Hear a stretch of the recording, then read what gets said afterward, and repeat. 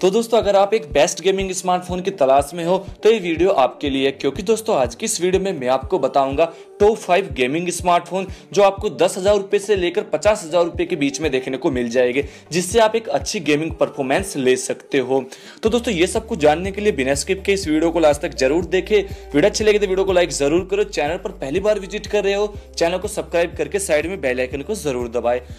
तो दोस्तों, हमारी लिस्ट में पहले स्थान पर है Redmi Note 8 Pro स्मार्टफ़ोन जहाँ दोस्तों मोबाइल फ़ोन के प्राइस हमें पंद्रह हज़ार रुपए देखने को मिल जाते हैं, जिसके अंदर हमें हीलियो जी का पावरफुल चिपसेट मिलता है। यानी कि दोस्तों, इस एसओसी से हम एक अच्छी गेमिंग परफॉर्मेंस ले सकते हैं।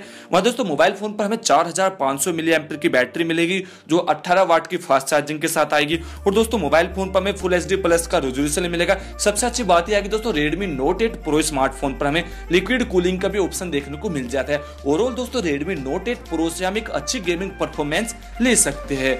तो बात करते हैं दोस्तों अपने दूसरे स्मार्टफ़ोन की, जो है पोको F1 जहाँ दोस्तों इस मोबाइल फ़ोन को आप मार्केट से पंद्रह हज़ार रुपए में खरीद सकते हैं, जिस पर आपको स्नैपड्रैगन 845 का एसओसी मिलेगा लिक्विड कूलिंग का ऑप्शन और दोस्तों मोबाइल फ़ोन पर एक बड़ी बैटरी देखने को मिल जाएगी।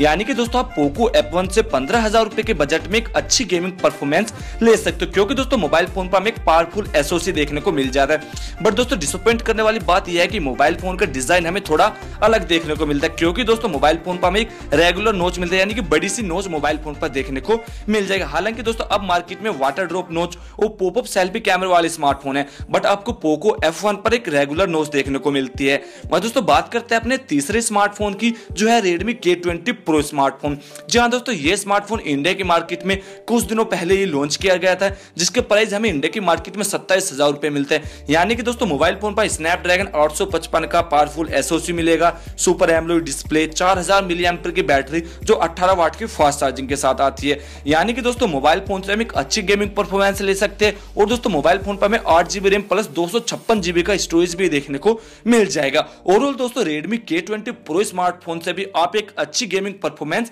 ले सकते हो और हाई क्वालिटी में भी आप इस मोबाइल फ़ोन पर गेम खेल सकते हो। तो बात करते हैं दोस्तों, अपने चौथे स्मार्टफ़ोन की, जो है Asus ROG 2 स्मार्टफ़ोन जहाँ दोस्तों, ये स्मार्टफ़ोन एक स्पेशलिस्ट गेमिंग स्मार्टफ़ोन है और दोस्तों, ये स्मार्टफ़ोन हमें सैंतीस हज़ार नौ सौ निन्यानवे रुपए की प्राइस में इंडिया की मार्केट में देखने को मिलता है, जहाँ आपको स्नैपड्रैगन 855 प्लस का एसओसी मिलेगा।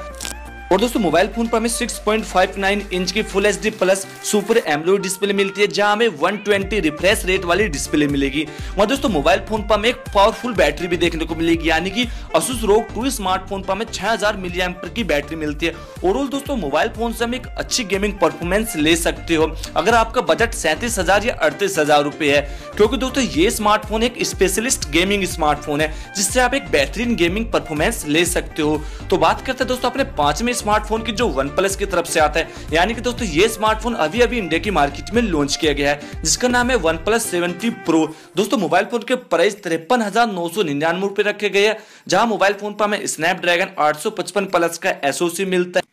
और दोस्तों, वहीं हमें मोबाइल फ़ोन पर हमें 90 हर्ट रिफ्रेश रेट वाली डिस्प्ले मिलती है, जिसका डिस्प्ले साइज़ होगा 6.67 इंच। यानी कि दोस्तों, मोबाइल फ़ोन पर हमें एक बेहतरीन डिस्प्ले मिलती है और मोबाइल फ़ोन पर हमें फास्ट चार्जिंग का ऑप्शन भी देखने को मिल जाएगा। सबसे अच्छी बात यह है कि दोस्तों, OnePlus seventy pro smartphone पर हमें एक फुल व्यू डिस्प्ले मिलती है। यानी कि दोस्तों, इस मोबाइल फ़ोन से भी हम एक अच्छी गेमिंग परफॉर्मेंस ले सकते हैं। लेकिन दोस्तों, अगर आपका बजट थोड़ा कम है तो आप OnePlus seven pro smartphone को भी खरीद सकते हो। क्योंकि दोस्तों, दोनों ही मोबाइल फ़ोन की स्पेसिफिकेशन में हमें माइनर सा चेंज देखने को मिलता है और OnePlus seven pro smartphone से भी एक अच्छी गेमिंग परफॉर्मेंस ले सकते हैं। तो दोस्तों, आज की इस वीडियो में मैंने आपको बताया है टॉप फाइव गेमिंग स्मार्टफ़ोन तो दस हज़ार रुपए से लेकर पचास हज़ार रुपए तक आपको देखने को मिल जाते हैं।